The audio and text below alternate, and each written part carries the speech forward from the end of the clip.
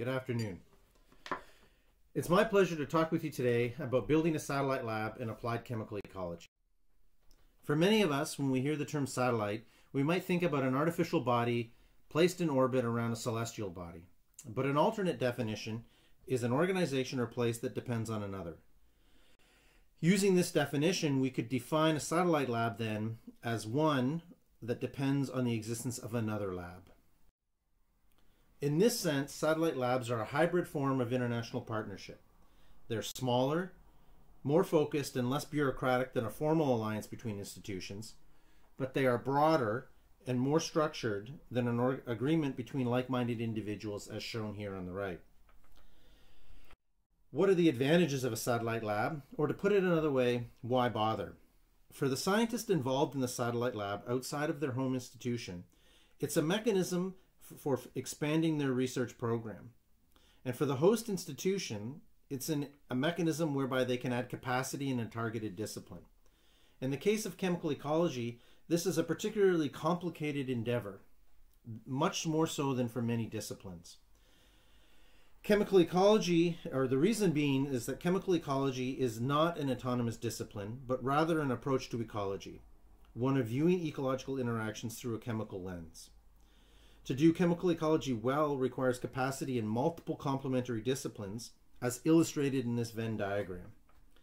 So, in and of themselves, these benefits, that of increasing the research program of an individual and capacity of the organization, would seem to be justification enough for building a satellite lab. But I don't think they're, they are the, the entirety of the benefits. I think the real benefit of a satellite lab is that it facilitates the development of relationships and alliances globally. And I think this is significant because the majority of the problems that we face in terms of forest health are by their very nature international and therefore require international solutions. This is illustrated by this figure here, and there's two points I'd like to make.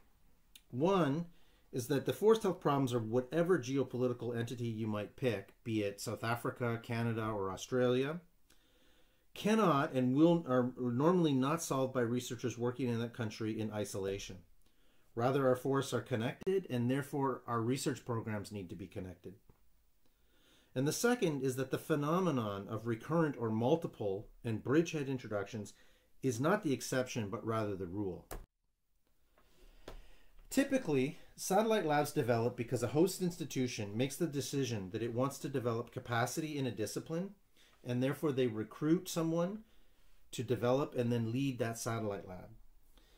The satellite lab that we're talking about today differs from this model in two significant ways.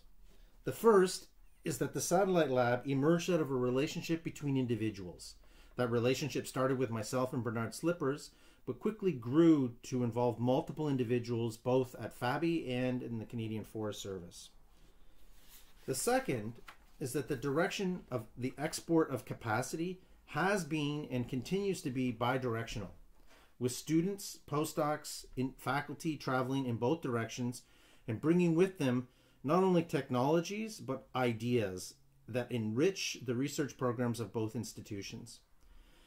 In my view, this satellite lab is truly reciprocal, and that reciprocity, I think, is significant because it, in my mind, makes the potential impact and longevity of this relationship dramatically more than that of a traditional satellite lab. I don't have time to go through all the people involved in the satellite lab, and in fact, there's more people than are shown in this slide. But the point I'd like to make is that this is uh, becoming a very large um, interaction um, supporting the, the work of multiple people at both FABI and the Canadian Forest Service. With the time I have left, I'd like to give you a bit of an insight into some of the work that, that I'm talking about with these individuals. And two of the projects I'm going to cover are one is a biological control program for an invasive plant in Canada and the role of chemical ecology in developing post release monitoring tools. And the other is uh, one looking at trap active space and survey detection work. Dog strangling vine is an invasive plant in the United States and Canada. It forms um, dense um, mats or stand in, in, in, our forested stands, sorry. And these um, dense mats crowd out native uh, plants and young trees, and this can uh, interfere with regeneration of stands post harvest. These dense interwoven mats um, interfere with forest management activities and uh, recreation activities. The plant is in the milkweed family, so the leaves and roots can be toxic, and native herbivores often avoid it, which increases grazing pressure on um, palatable native plants, and many of these native plants are protected or threatened. And the monarch butterfly, shown here in the bottom uh, insert photo, is a species at risk in Ontario, and it is threatened by the dog strangling vine. And the the problem here is that because the, the plant is similar to the natural host plant of the monarch butterfly, females oviposit on dog strangling vine, but larvae aren't able to complete their development and so they die. Numerous biological control agents have been examined for release in Canada and the United States. Uh, one that has received approval for release and, and has actively been released for many for several years now is Hypena opulenta. This moth um, is very host specific. Upwards of 23,000 individuals have been released in two sites, predominantly in Ontario.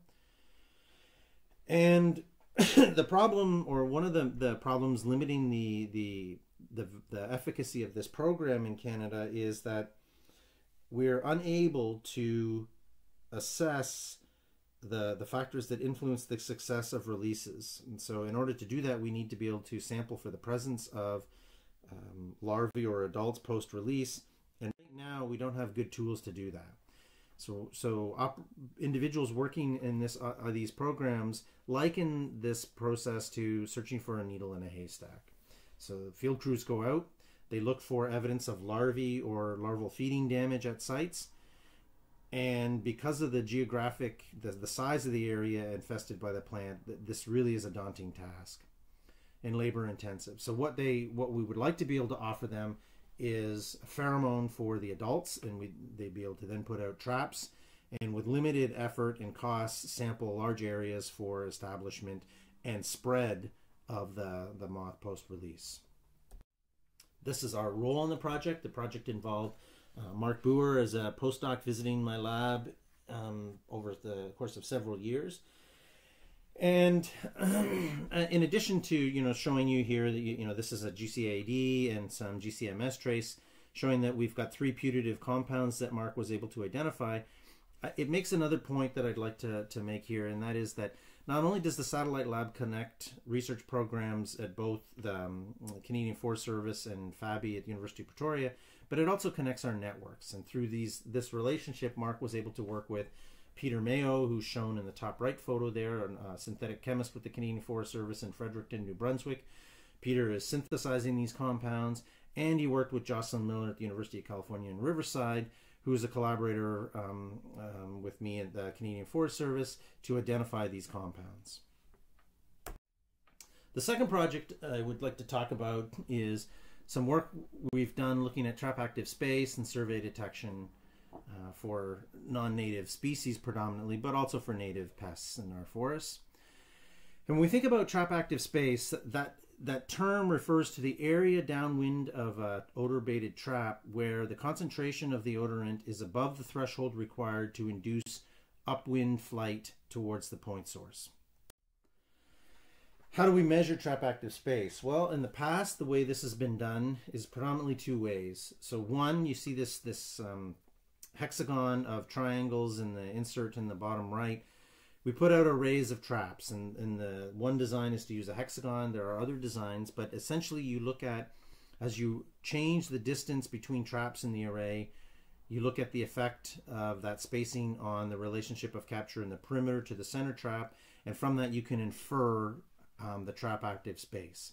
The other approach is to use the fact that when male moths smell pheromone, they begin to wing fan and move in a characteristic way, as shown in this photo with silk moths here. And so the, the figure on the left shows that you can increase the active space by increasing the amount of odorant that you release from a trap or the ratio of components of the odorant that you release from a trap. Both of these approaches are labor intensive and they only really give you one piece of information that is how far from the trap um, or what is the size of the active space. The approach we've taken is to work with folks in New Zealand who've developed this device shown here, which is a mobile EAG. And certainly they're not the first to, first to have done so, but what is special or unique about this device is how small it is and how light it is. So it is small enough that it can be carried around by hand, and so you can move around in space and begin to get an idea of how odor plumes change in space and time, and how far away from a point source a moth can detect the pheromone. And here you can see the moth in the insert in the bottom left. It, it, they are live in the mount, and so it, that has several advantages for the preparation or for the, the tool.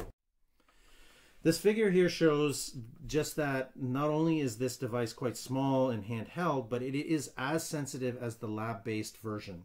So it really is a remarkable tool with an incredible opportunity, offering incredible incredible opportunities, sorry, to explore um, active spaces and, and how trap design and stand structure, for example, might influence trap active space. So here you can see um, a pine stand in South Africa that's been defoliated by Euproctis. Um, and shown in the upper right is a PhD student who recently joined my group. And Joel has received training from the folks in Scion on how to use this device, the mobile EAG, and will be using it as part of his PhD. But what he doesn't know yet is that Joel will have the bright idea of taking advantage of the fact that Euproctis is day active so that you can um, easily collect data that are not easily available with most species that are nocturnal, and that we now know the sex pheromone of this species. And of course, you'll have my full support to do that. I'd like to thank you for your time, and I'm happy to answer any questions if you have them.